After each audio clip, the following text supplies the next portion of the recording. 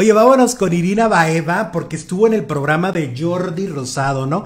Estuvo ahí en este programa que de veras las entrevistas de Jordi la rompen, ¿eh? Increíble, les va fabulosamente bien en cuestión de, visualizaciones, ¿no? Bueno, resulta, eh, resulta que dijo varias cosas interesantes, como por ejemplo, a lo mejor fue precipitado, habla de su relación con Gabriel Soto, a lo mejor fue un error que pagué muy caro, que lo sigo haciendo al día de hoy, que lo hice por amor, me enamoré de un hombre que estaba separado, que tenía una historia, que tenía un bagaje, que no estaba en mi, en mi cartulina a los 20 años, confesó con lágrimas porque lloró varias veces en la entrevista con Jordi. Dijo, en respuesta a esa honestidad y sinceridad que me dijo que se estaba separando, yo le dije, ok, pero para mí es importante dos cosas. No voy a estar con una persona medias que tenga cosas inconclusas. No voy a estar en una relación así. Era muy importante para mí dejarle claro eso. Nosotros estamos felices actualmente. Es una relación sólida, basada en una relación de confianza, transparencia desde el día uno.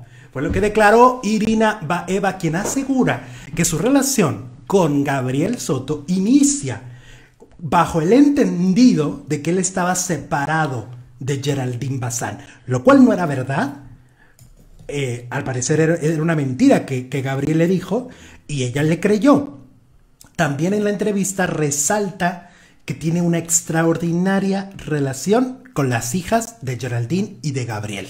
Pues han mostrado fotos, ¿no? Sí, juntos. Que se llevan muy bien y se tienen un cariño, de esos cariños especiales y bonitos, ¿no? Dice Klaus o nena, que mentira, ella sabía. Fabiola Mendoza dice, Irina debería de tener tantita vergüenza en salir a hablar de su relación con Gabriel Soto, obviamente. Mujer descarada y mentirosa, perdón, mentirosa, dice María Soledad, ok.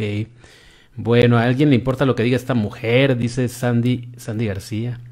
¿Qué tal? Carlos Preciado dice, es Charlie, ¿no? Hola, hola Alex y producer aquí el volante rumbo al trabajo, abrazos y bendiciones este lunes. Saludotes, Charlie. Eh, ok.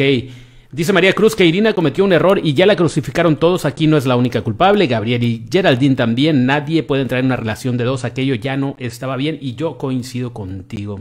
Se veía que no estaban bien, como que se juntaron por la enfermedad de él, ¿no? Porque ya se andaban separando y